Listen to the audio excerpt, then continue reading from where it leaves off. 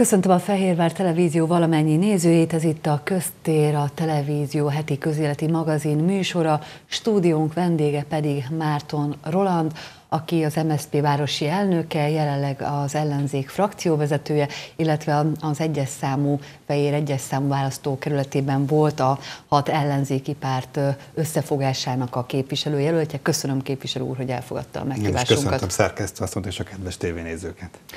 Hát túl vagyunk ugye egy választáson, részben volt értékelés már itt nálunk is, de megbeszéltük egy, egy hosszabb elemző beszélgetéssel, láthatjuk itt vendégül. Azt el kell mondani, hogy 18.994 érvényes szavazat érkezett önre, ez 41,85 század százalékot jelent, ami egy szép szám, azonban nem volt elegendő a győzelemre. Hogyan értékeli a választást? Így van, egy nagyon hosszú, hónapokig tartó kemény kampányt nyomtunk végig a csapatommal, meg az ellenzéki pártok együttműködésével, összefogásával. Ö, igazán hajszálon múlott a győzelem, ha ez a háborús helyzet nincs, akkor Székesfehérváron csont nélkül nyerünk. Ö, ez szerintem az ellenfél véleménye is, ezt mondták a kutatóintézetek, illetve ezt láttuk mi is.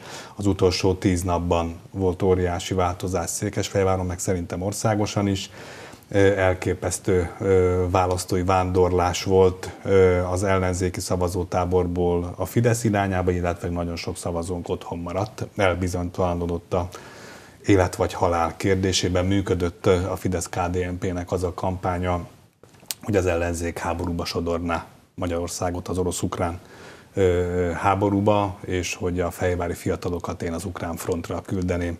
Ezt nagyon sokan elhitték, a saját szavazóink a mozgósítás során mondták nekem, hogy Roland nagyon szeretjük magát, nagyon jó a programja, de nem akarunk vért. Mm. Ebben én nem tudtam mit kezdeni az utolsó héten már. Úgyhogy a Fidesz rendkívül erős, alapos mozgósítása, amivel most idén ebben a választási kampányban mi is felvettük a versenyt, ez nem eredményezett részvétel növekedést 2018-hoz képest, tehát alapvetően a mieink ezres nagyságrendben maradtak otthon, és legalább 1500 szavazónk az átszavazott a Fideszre a háború a háborús pszichózis miatt.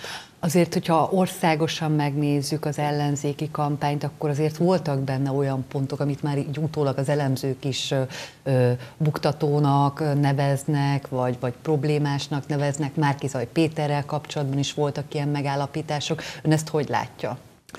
Minden kampányban van ilyen, itt az a lényeg, hogy az ellenzék, az ellenfél ezt hogy tudja kihasználni.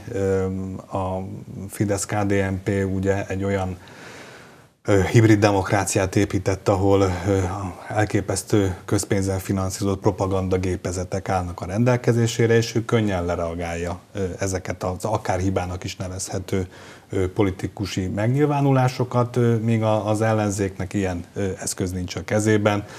Ugye postaládai kiadványokkal és közösségi médiás jelenléttel tudunk eljutni az emberekhez. Ezek nem olyan gyors reagálású politikai kommunikációs eszközök, amivel ilyen munkát el lehet végezni. Nekünk van mindig egy mondani valónk, és ezeken a szűk csatornákon azt az egy dolgot tudjuk eredményesen eljuttatni a választóinkhoz. Ezen nagy változtatásokra nincsen lehetőség.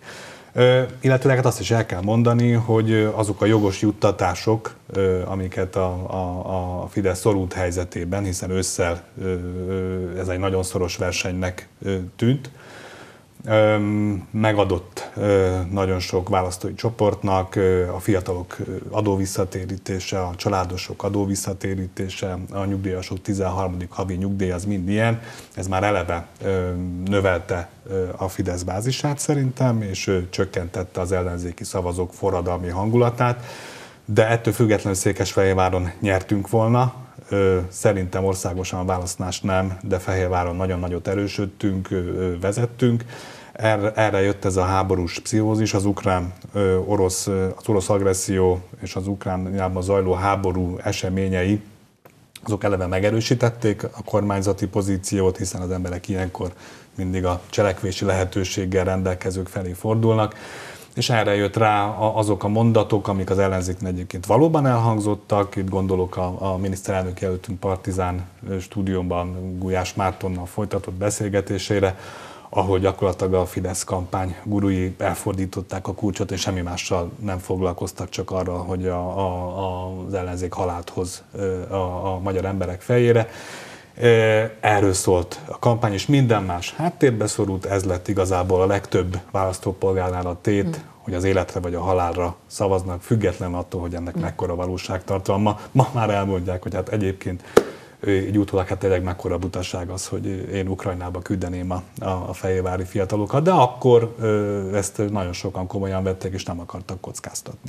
A taktikai szavazás.hu modellje alapján lehetett látni egy elemzést, ez most is elérhető egyébként, ahol, ahol mondjuk azt lehet látni, hogy ez alapján, a modell alapján ez a választókerület volt az egyik leginkább felül teljesítő ellenzéki körzet. Erre számított volna? Azt láttam, hogy nagyon, nagyon jól dolgoztunk itt Székesfehérváron, és valóban a tapolcai választókerülettel együtt ellenzéki szempontból a legeredményes, a legjobb eredményt értük el. Ugye 5,5 százalék körüli különbséggel kaptunk, kaptam ki Varga Tamástól, a Fideszes jelöltől, miközben országosan a listák között 20 százalékos különbség, óriási különbség alakult ki az utolsó napokra. És nem csak, hogy mi a legjobb eredményt értük el, hanem a Fidesz a legrosszabbat. Tehát az ország legrosszabban teljesítő szervezete a Székesfehérvári Fidesz.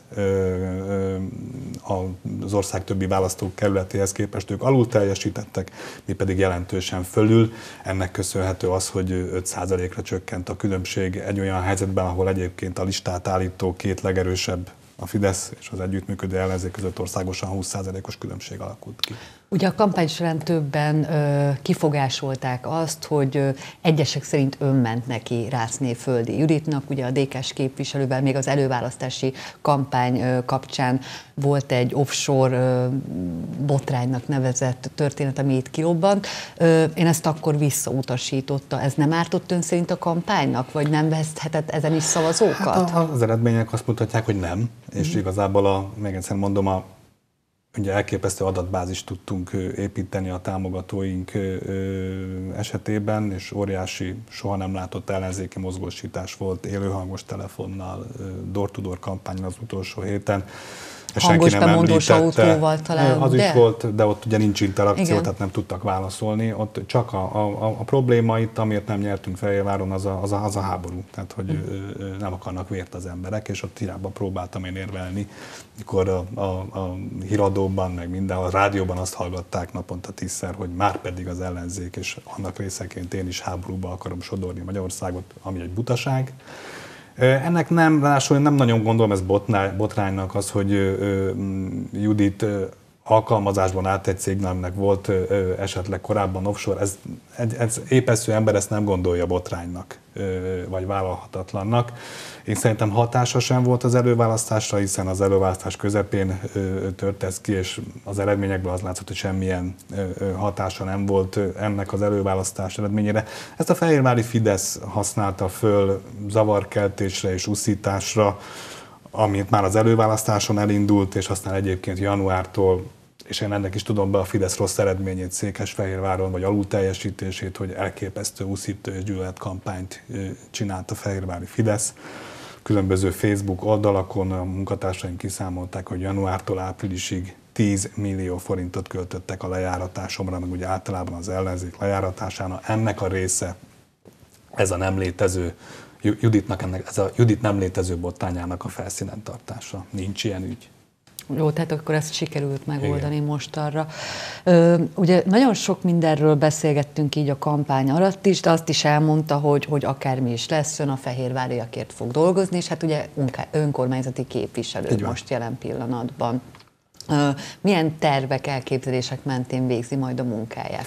Én eddig is ö, ö, szerintem Fehérvárnak egy ö, nagyon komoly együttműködésre lenne szüksége, ez emelt minket a többi város elé, és az, hogy elsőként tudtunk reagálni a Közép-Európa előtt álló kihívásokra. Ez Székesfehérvár gazdasági erejének és a közös gyarapodásunknak és a jövőnknek is egyébként a kulcsa, az záloga. Ezért tartom szörnyűnek egyébként a Fidesz kampányát Székesfehérváron. Na jó, hát ők meg ugye fordítva mondják a, a párbeszédre, vitára invitáltam Varga Tamást, kértem, hogy a pedagógusokért közösen álljunk ki. A pedagógusok való közös kiírásra azt mondta, hogy ennek erre most nincs ideje. A vitával kapcsolatban pedig úgy fogalmazott, hogy hát kommunistával és fasisztával ő nem vitatkozik ami nem csak engem sért, hanem azt a 19 ezer székesfehérvárit is, aki rám szavazott, ezek az emberek nem kommunisták és nem fasiszták, hanem változást akarnak Székesfehérváron, mert az a elsősorban gazdaságpolitikai okok miatt ezt a, fej, ezt a Fidesznek tiszteletben kell tartani, és nem sértegethet minket se egy választási kampányban, sem azon kívül. Az az uszító gyűlölet cunami, amit a Fehérvári Fidesz Fehérvárra szudított, és a fehérvári emberekre, az méltatlan a város közéletéhez. Az, hogy kommunistázzuk, fasisztázzuk a másikat, ez nem helyén való viselkedés Székesfehérvár közpolitikai életében. Elmaradt eddig a bocsánatkérés, de azt gondolom, hogy ahhoz, hogy ezt folytatni lehessen, és Fehérvárt vissza tudjuk abba a békés, nyugodt építkező mederbe terelni, ahol, ahol a városnak tartania kell, ezt valahogy rendezni kell a fejvári fideszeseknek, mert ez így nem maradhat, és ilyet még egyszer nem követhetnek el Fejvár közélete ellen. Ez egy politikai terrorizmus, ami, ami itt történt. Ennek nincs keresni valója Székesfehérváron, és elgond, el kell, hogy gondolkoztassa őket az, hogy az ország legrosszabb eredményét érték el Fideszesként. De ettől függetlenül gratulált ön Varga Tamásnak? Hát, nézze, a, aki kommunistázik és fasisztázik, aki napi szinten hazugságokkal, uszító gyűlölet kampányjal árasztja el Székesfehérvárt, az nem érdemel gratulációt. Először, még egyszer mondom, nem engem, a fejvári közéletet kell megkövetnie, és tisztába tenni azt, a, amit az elmúlt hónapokban ők elkövettek ezen a város ellen, mert ez így nem egy normális dolog.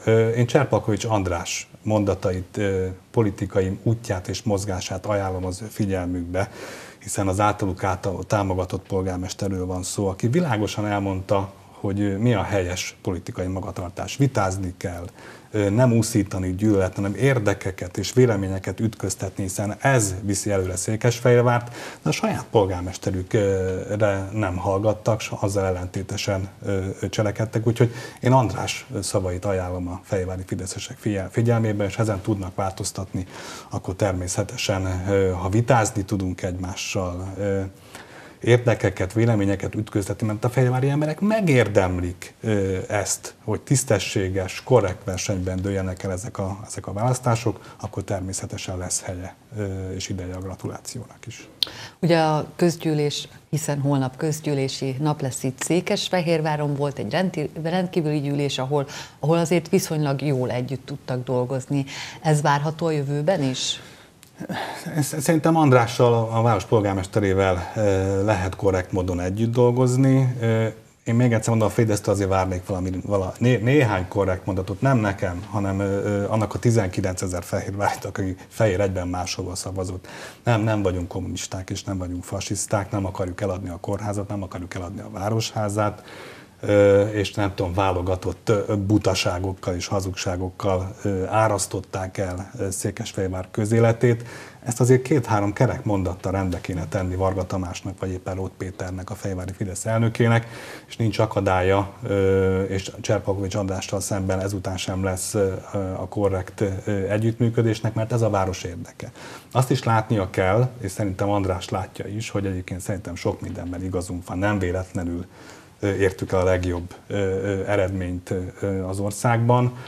Gazdaságpolitikai fordulatra van szüksége Magyarországnak, és ez legjobban egyébként a Fehérvár érdeke, hiszen az a betanított munkára épülő, ahol az európai piacon az alacsony munkabérekkel csábítjuk ide a multinacionális nagyvállalatokat, és minden forrást, Európai Uniós, akár magyar adófizetéséből származó kormányzati támogatást ezek a vállalkozások kapnak munkahelyteremtés címén, ez nem járható út, mert alacsony béreket eredményez, az árak azok ugyanolyanok, mint Európában bárhol, ezeket meg kell fizetni, és mivel a források, a gazdaságpolitikai támogatások ez a külföldi multikhoz folynak be, a hazai kis és közepes vállalkozások érdemi támogatás nélkül maradnak, már pedig Fehérváron látszik a legjobban, hogy egy protekcionista gazdaságpolitikával ezeket a helyben egyébként jól teljesítő vállalkozásokat segíteni lehetne, magyar bajnokokat lehetne belőlük kinevelni, akik aztán az európai versenyben is magyarok, magyarok megállják a, a versenyt,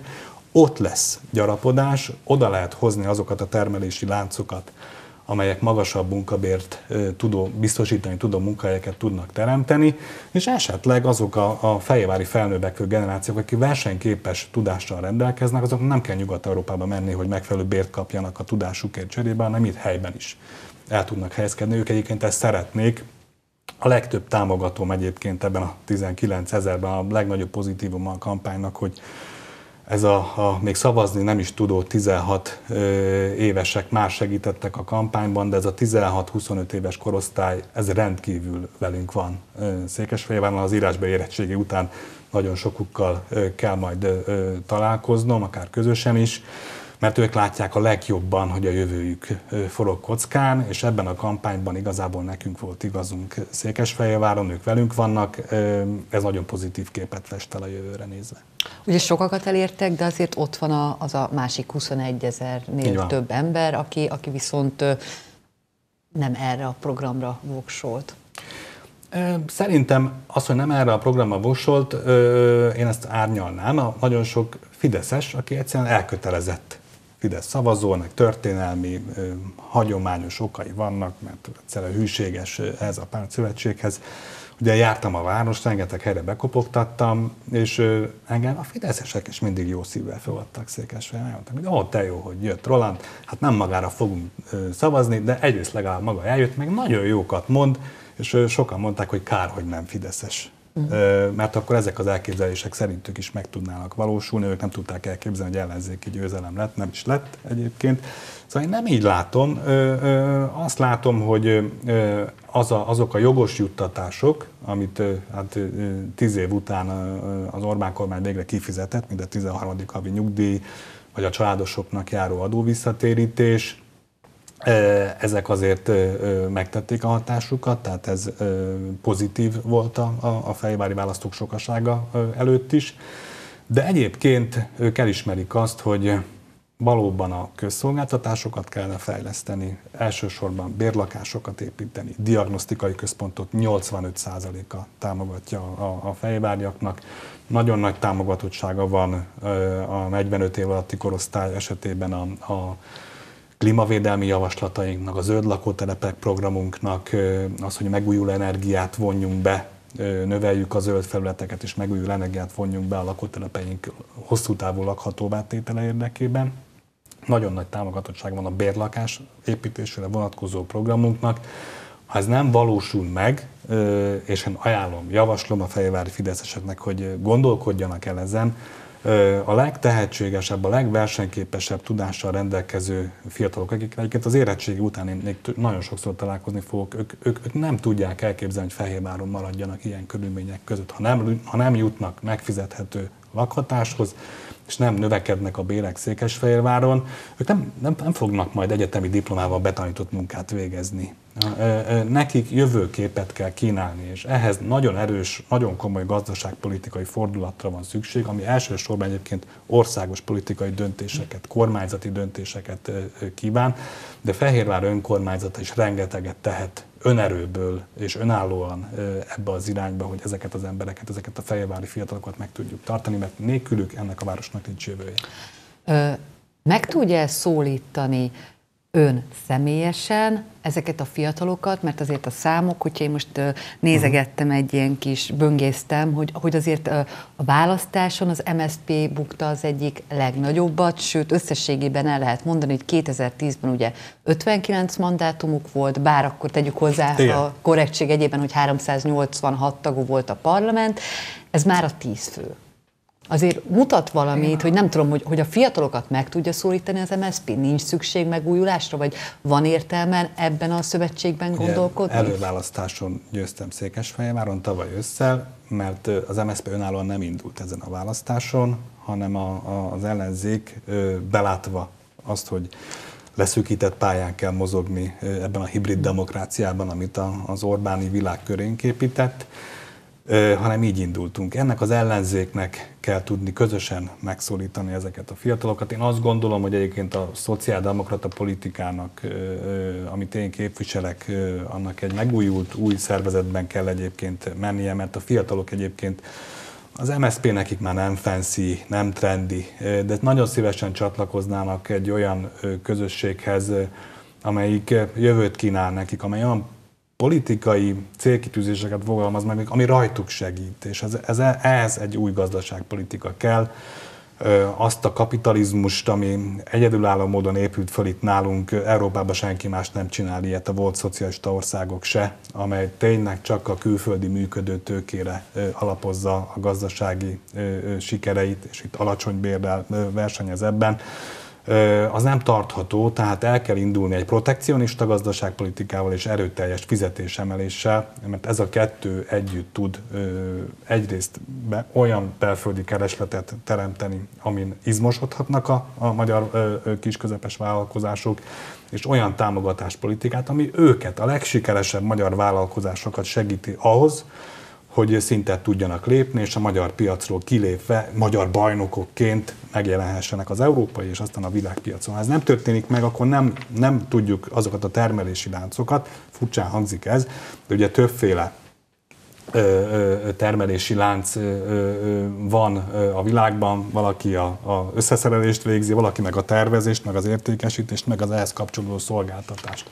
És a kettő között óriási értékkülönbség van. Nekünk ezt a magasabb hozzáadott értékű munkahelyeket kell keresnünk, és ez irányba kell dolgoznunk, hogy ezek tudjanak Fehérváron megtelepedni, mert ott lehet annyi pénzt keresni, amiből egyébként az elszabaduló árakat meg lehet fizetni, amiből megtakarítani lehet, amiből lesz autó, lakás, és lehet nevelni a gyerekeket. Ha ez nincs, akkor kilátástalan jövő van, akkor el fognak menni a gyerekek Budapestre, meg külföldre dolgozni. Úgyhogy szerintem meg lehet szólítani a fiatalokat, hogy ebben az MSP milyen szerepet játszik, az teljesen harmadrangú Fehérvár vagy az ország sorsából, sorsa szempontjából az is, hogy Mártorland mit csinál egyébként. Ennek a politikának kell sikereket elérnie. És én annak, én annak is nagyon örülök, hogy a Cserpalkovics András néhány ügyben meg fogom tudni győzni a következő néhány évben, hogy lépjünk el ebbe az irányba, mert erre van előre. Csomó dolog van, amit András pontosan lát, jobban, mint én, de én úgy gondolom, hogy neki is el kell hinnie, hogy vannak dolgok, amit meg én jobban látok olyan kereskedelmi jogászként, aki mondjuk azért 15-20 évet dolgozott a, a piacon, és pontosan látom azt, hogy mind múlnak beruházások, mind múlnak üzletpolitikai döntések, és hogy egyébként miért nem tudunk ellépni a magasabb bérezés felé. Ezek ugye most említettük is a városi ügyeket, és akkor nem tudom, hogy ez most hogy lesz. Jelenleg ugye ön a frakció vezetője az ellenzéki frakciónak itt Székesfehérváron, és korábban Rászné Földi Judittal, illetve önnel is egyeztetve, azt hiszem pont egy évvel ezelőtt mondták, hogy, hogy ez egy ilyen vetésforgóban fog majd megegyezés Így szerint van, működni. Már, értem, ez úgy működik, hogy ugye öt év a ciklus, Igen. ezt osztottuk el négy felé, hiszen négyen jutottunk be listáról összellenzéki támogatással a, a most pontosan nem tudom, hogy jön ki a 13 vagy 14 hónap jut, úgyhogy valamikor most májusban jár le az én frakcióvezetői mandátumom, és valamelyik frakciótársunk átveszi a, a frakció Tehát vezetését, akkor és akkor vagy ő... Fazakas Attila, vagy pedig Barnabás András. Így van, így, van, így, van, így van, ezt a következő napokban, hetekben eldöntjük, hogy de így lesz. Igen, igen, igen. Jó, csak mert azért Juditot ez, sem leváltottuk, hanem Igen, ezt a azért mondom, hogy akkor ugye ez egy ilyen közös végre. megállapodás, pontosan, akkor derült ki, hogy van egy ilyen közös megállapodás, és akkor ezek szerint ez tovább lesz, fog menni lesz, majd, lesz és akkor lesz még akkor frakcióvezető váltás.